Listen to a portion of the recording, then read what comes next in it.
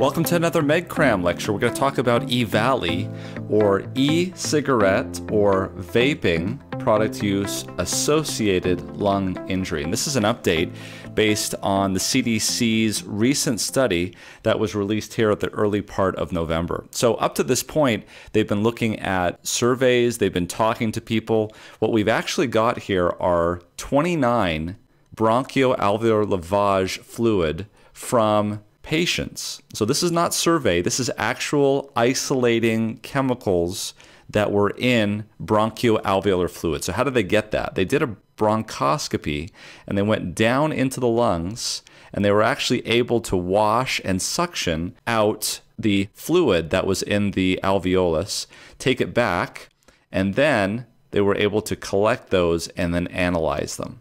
And they analyzed it for a number of different compounds. So, what did they find? Now, it's interesting. What they found in 100% of them, and this is going to be the smoking gun perhaps, in 100% of the samples in these patients who were sick, in 29 of the 2,000 so far at this point, they found vitamin E acetate. Now, interestingly, in 82% of the samples that they got, they found THC, and in 62 percent of the samples, they found nicotine. Now, there was a lot of speculation leading up to this that it was the vitamin E that might have been causing all of these things because people have been vaping for years without this EVALI issue coming up. And so there was thought that a lot of the black market products, which had the vitamin E in it, were the actual cause for the problem. But we didn't know for sure. And this is why the CDC was tasked into investigating this and holding back on making that judgment until they were absolutely sure. Now, in this case, all we have is 100% association.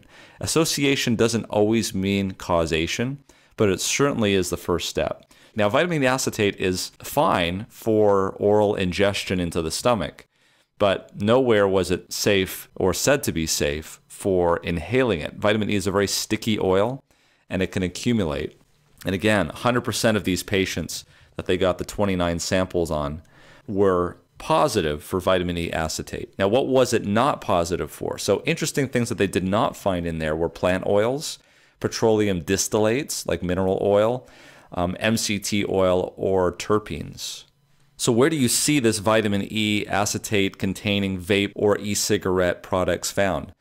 They found them from friends, from family, in person, or online dealers. So that's the ones that you've got to be careful about. Now, just realize that the time of this update is the beginning of November, specifically on November 5th, 2019. The epidemic is up to 2,051 cases of EVALI, and up to 39 people in the United States have died as a result of this problem. So, what does the CDC recommend at this point? Well, they recommend not buying any kind of vape products from the street. They recommend not buying any vape products that have THC in it. And they recommend not buying any modified vape products. And of course, if you've got a child or you know of a child that's less than 18, they shouldn't be vaping, period.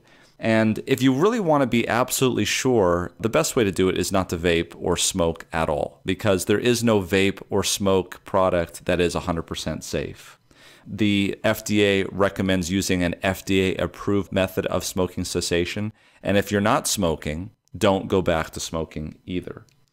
And if you are going to vape, remember this it's pretty obvious that you could have respiratory complaints. Be particularly concerned if you have signs of nausea, vomiting, diarrhea, abdominal pain, or fever, because it is these complaints, along with respiratory symptoms, that makes EVALI of particular concern. And if you like this video and you want to see more educational videos, I encourage you to go to medcram.com where we have videos that teach you about chest x-rays, ABGs, acid base, pneumonia, asthma, COPD, pulmonary function tests, and a whole host of other topics. Thanks for joining us.